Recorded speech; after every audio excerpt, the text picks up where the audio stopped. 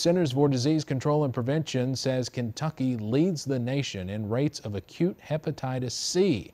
That's one reason for talk recently about needle exchange programs. They're very controversial. WYMT's Angela Reiger talked to folks in Letcher County about what a program like that would mean for their community.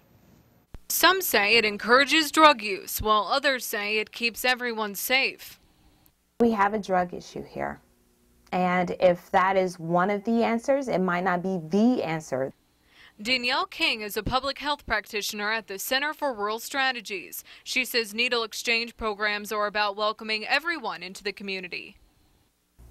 It allows people who are experiencing this type of addiction to come to a safe environment, to be anonymous, particularly, um, and to exchange the, the used needles with the unused needles. King calls it a safeguard. She says the time to talk about these programs is sooner rather than later, considering what happened recently in Scott County, Indiana.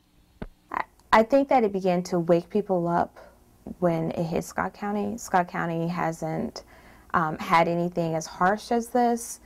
Um, even with the inception of HIV/AIDS, they haven't seen this.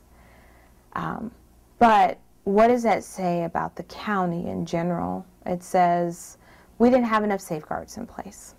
Matthew Combs is the county coordinator for the Letcher County Health Department. He says they've already started to talk about the program. When you have a, smaller knit community, you know you've got you've got multiple chances are multiple sexual partners, use you know users, multiple users and users that know each other because it's such a small knit community. And um, with the needle exchange program, that would hopefully uh, prevent and, and, try to protect you know, other users and future users of, of contracting a disease. Combs says the board will discuss needle exchange programs at their next meeting on July 14th.